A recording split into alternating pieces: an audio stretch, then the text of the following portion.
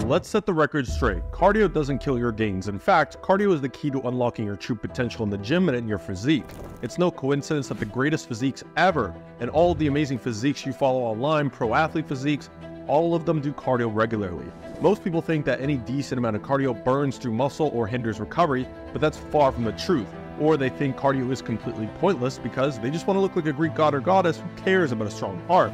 I believed that too several years ago, and I wish I had a video like this to talk some sense into me. So now I'm going to show you how the right kind and the right amount of cardio can maximize muscle growth, speed up recovery, and improve your overall health, ultimately leading to a better life and a more impressive physique. So let's get to it. All right, so I hear this all the time, right? Cardio will eat away your muscle, or too much cardio will stop you from building any real size. And it's true that doing too much cardio, especially at high intensity, can cause what's known as an interference effect. This is when you're essentially trying to maximize aerobic endurance and muscle building at the same time, and this simply won't work unless you're already crazy jacked and then you go on a temporary period of training for a marathon. Even still, it's not the best for the physique itself. That said, you'd have to do high intensity cardio frequently with a high impact on joints and muscles, such as running hard for long distances, to notice a clear negative impact. If cardio is mostly done at a low to moderate intensity with short bouts of high intensity cardio occasionally, then you actually don't have to worry about the interference effect at all. As far as cardio burning extra calories, that shouldn't be an issue either, as long as those extra calories are accounted for in your nutrition when on a lean bulk, for instance. Now, for fat loss, though, of course, cardio is a key tool in helping push a caloric deficit over time without having to cut food down as much. So, if you're trying to get ripped without steadily scaling up cardio over time, even if that just means steps on their own, good luck. But can it actually help build more muscle, recover better, any indirect physique benefits to it? Actually, yes. Yes to all three of these. See, any form of cardio positively impacts your health. As I've mentioned in my other videos, such as the one explaining why all calories are not created equal, this physique and fitness game is holistic. That means it includes and is connected to every aspect of your lifestyle. So much so, if your mental health is suffering, your physique results will too. If you get sick, that's a setback. If you can't sleep well, you're going to see slower progress. A strong and efficient cardiovascular system is a cornerstone to better health, which means better recovery, better immunity, and many other health benefits on top of that. Now, technically, you will see big health benefits by certain general activities daily, regardless of the intensity. That could mean 150 minutes of moderate to high intensity cardio per week, or roughly 10,000 steps per day at a lower intensity. But in my experience, and based on some of the available data, it would make a lot of sense to do both. General health benefits such as improved mood and reduced risk of all-cause mortality are absolutely great for our future selves and our quality of life, but let's face it, the quality of our physiques is what we're after here, right? Well, better performance means better growth long term. Higher work capacity means being able to productively execute more training volume or consistently execute sets at a higher intensity for longer. A more efficient cardiovascular system means less interference within a training session itself, right? It lowers cardiometabolic fatigue, which of course can lower total motor unit recruitment, increase perception of effort, and skyrocket in session fatigue as a result of this. Yes, I am again calling out all the people out there who claim they need four minute rest periods on a set of bicep curls to failure just to keep performance somewhat high on the next set. Listen, you just lack work capacity and or you're lazy. Keeping my cardio high allows me to keep performance high even on sets of 10 plus reps for big movements like hacks, squats, pendulums, heavy stiff leg deadlifts, and even the brutal barbell walking lunges without more than 3 minute rest between them. So now let's make sure you know the right types and amounts of cardio to do. The different types of cardio are really just separated by intensity and duration. So whether you're doing your cardio on a standard treadmill or you prefer the step mill, elliptical, bike, swimming, walking outside doesn't really matter. Choose the one you prefer most. The cardio modality you choose doesn't change the type of cardio, but it can change the impact in some cases. Running, for instance, has a higher impact on the lower body, while swimming has a very low impact everywhere. Now, the most common form of cardio amongst physique athletes is low intensity steady state cardio, or LISS cardio for short. This is a steady pace where your heart rate stays low, usually in the range of about 55% or less of your max heart rate. The great thing about LISS is that it has the least amount of acute impact on lifting strength. No real strain on the body, but still elevating the heart rate enough to burn a decent amount of calories in a shorter period of time than just lifting would or than just doing nothing would. So that's great. It's also possible that LISS can help acutely boost recovery to some degree. By increasing general blood flow throughout the body without placing serious demands on the body, LISS can be a great way to help you feel better on days you just don't feel so good in general, and potentially even help on rest days where you might be extra sore, for example.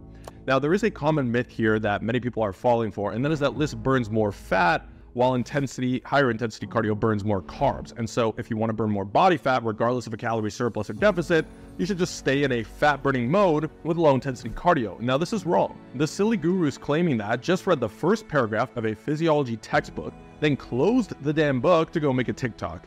Any exercise at a lower intensity relies heavily on dietary fat or fat in the blood as fuel, not physical body fat, as that is not really burned significantly in any single bout of exercise. Burning carbs as fuel is just because higher demand equals faster energy required. In the end, a deficit or surplus is going to best determine body composition changes, along with proper resistance training, of course. The cardio is done primarily for all of the aforementioned benefits and or to facilitate a deficit over time, but thinking that LISS is inherently putting you in some sort of fat burning mode is a myth that should have died in 2007 or some shit, whenever it came out.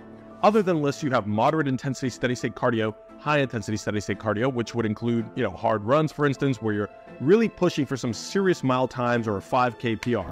Moderate intensity cardio is where we bring the heart rate somewhere around 55 to 70% of our heart rate max. High intensity cardio is basically 70% or above. Now, intervals can be used on either of these as well, where you switch from high intensity intervals for a short bout and then you switch immediately to a lower or moderate intensity interval. Now, this is the popular high intensity interval training or HIIT, and actually, HIIT does seem to fare well in research as far as being an effective way to burn more calories, boost VO2 max, and not really put muscle or strength at risk, all in less time when incorporated properly. Another common myth, usually around HIIT cardio, is the afterburn effect, more scientifically known as EPOC. Now, EPOC is a real thing, but it's completely insignificant and won't play any real role in body composition changes at all. It should not dictate whether you do HIIT cardio over other forms of cardio. So, how you actually properly integrate cardio into your regimen? Now, first and foremost, the ideal scenario for doing cardio for minimal interference would be separate from your lifting, six hours away, or better yet, on complete rest days where you don't lift. The worst time to do it would be right before you're lifting, say within one to two hours of it. If your goal is to build your best physique, there is no reason you should be doing any strenuous cardio whatsoever before your training sessions, as training, i.e., lifting, is the priority. However, if you're like me and you don't want to go out of your way and do two a days, but you still want minimal interference with your training, then doing cardio immediately after your lifting makes the most sense. Of course, if you're cool with doing two a days or just doing fasted cardio in the morning because it's practical for you, then by all means, that might just be the best case scenario then. Next, we want to properly quantify your cardio. See, many people don't really do this properly, in my opinion. As a coach, I've realized that using calorie targets to quantify and standardize cardio output makes the most sense. This assumes that you are using similar machines and doing similar types of cardio most of the time, so you can either use a fitness tracker or the cardio machine's manual mode as the standard. No, of course, the calories it's telling you that you're burning are not accurate. That's not the point. The point is, by using the exact same measuring tool for total cardio output, you can now standardize output via that modality. For example, I mostly use a step mill or a treadmill for my cardio, and I use their manual modes, input my age and weight, and then I set 200 calories as my target.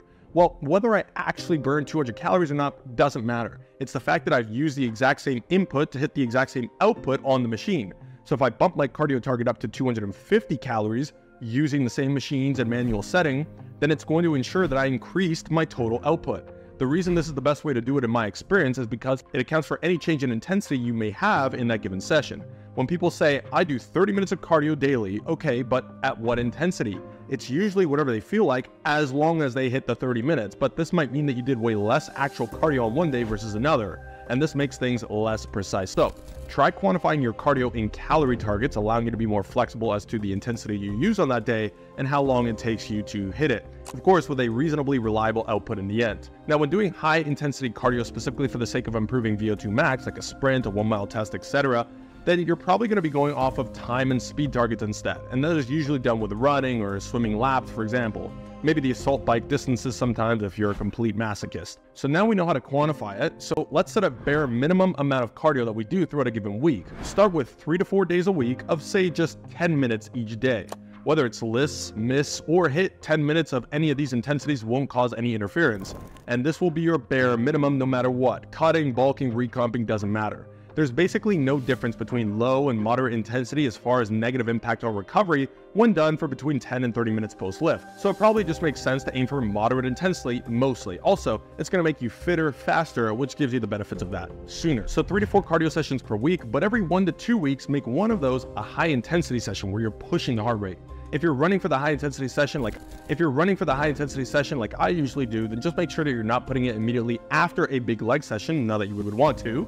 But I'd also avoid putting it the day after as well, as both of these could actually get in the way of leg day recovery since the high impact nature of running can cause some damage you'd otherwise want to avoid. Now, placing a run one or two days before leg day, assuming it's not a crazy run, or placing a longer high intensity run, something like a 5K a couple days after your leg day, should not be a problem. When it comes to your high intensity cardio sessions or even your daily regular sessions, you can progressively overload them just like you would your lifts. So, record how long it takes for you to hit certain calorie amounts or other milestones like how long it took to climb X floors on the step mill, your 5K run time, your 1 mile run PR, etc. This way you actually have goals to try and beat in your cardio along the way that ensures you keep improving the most important muscle in the body along with all of the other still important muscles, of course. Now from here, you're all set. Scale up your LISS or MISS cardio sessions by output or frequency when you're cutting and as you progress throughout it, and then cut them down closer to baseline as you progress throughout a bulk.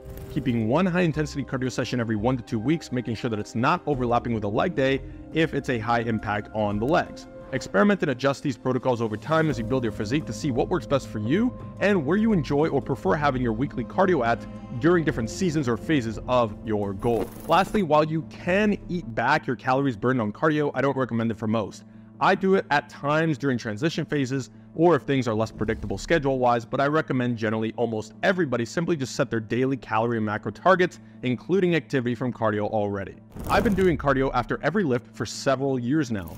Back in my early 20s, when after one of my first dirty bulks, I would break out into a sweat and pant after just walking up a single flight of stairs or even just doing basic tasks around the house or in daily life, I was huge, but I felt like shit. All show, no go. So I started making cardio a normal part of my routine. And then, even when I got to 248 pounds at a later dirty bulk, I still felt way better. And all I started with was a few battle rope intervals a few times a week. For years now, since then, I've had a bare minimum target of MISS cardio to hit post lift. Right now, it's about 200 calories worth of cardio, either on a treadmill incline walk or a step mill, which typically is done in between 8 and 10 minutes. You can even see back in my most successful cut of all time so far in the 2018 Cutting Chronicles how hard I was cranking cardio even back then, and I still managed to build an insane physique. These days, being peak bulk, my bare minimum is those 200 calories, and I ensure to mix in some high intensity sessions once every one or two weeks. And every two to three months, I'm pushing a 5K on one of my rest days. Okay. Now, on a cut, those daily sessions slowly go up, sometimes getting as high as 500 calories per session,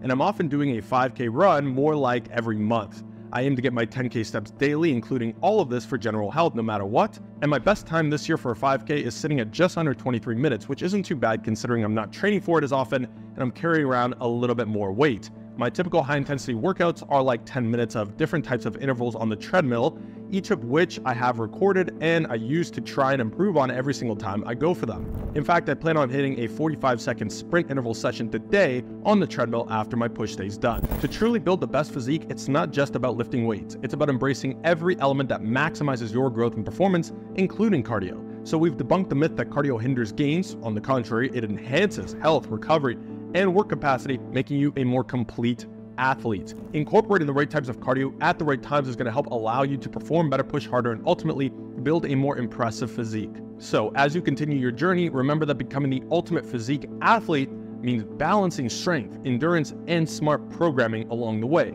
track your progress, stay consistent, and always push your limits. You're not just building a physique that looks amazing, you're building a stronger, healthier, and more resilient version of yourself in every single aspect. We must treat ourselves like true athletes if we are to do that. So, for those of you that will join me in doing so, I'll see you at the top.